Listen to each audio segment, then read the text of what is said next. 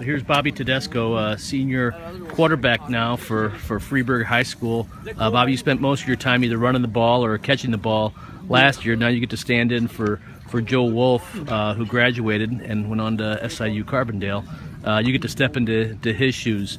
Uh, you're not a stranger to the quarterback position, though. No, I played whenever I was playing different spots on varsity. I was always playing JV quarterback still, so I wasn't, and still working in practice too. And you're still working the same system as well. Yeah, same stuff.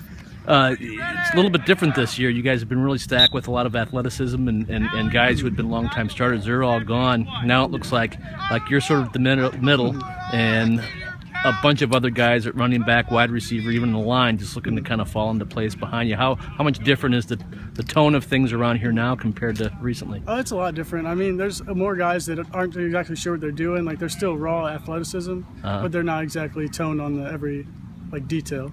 But it's it's different, and we're doing it kind of different. We're doing like without wristbands, trying to get everyone to learn the plays better. Uh huh.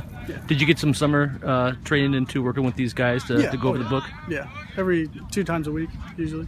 So, what are you looking forward to uh, uh, this season? It'll be different, I know, but uh, it's still conference play. You still have your rivalries, and what are you looking forward to most? Um, I don't know. Basically, just seeing the team grow like as a unit, because right now we're kind of not like together as much as we should be. Uh-huh. But it'll be nice to see how it comes together. So, week three, week four might be a whole lot different than week one. Yeah, definitely. Fantastic. We'll have a good season, Bobby. I appreciate it.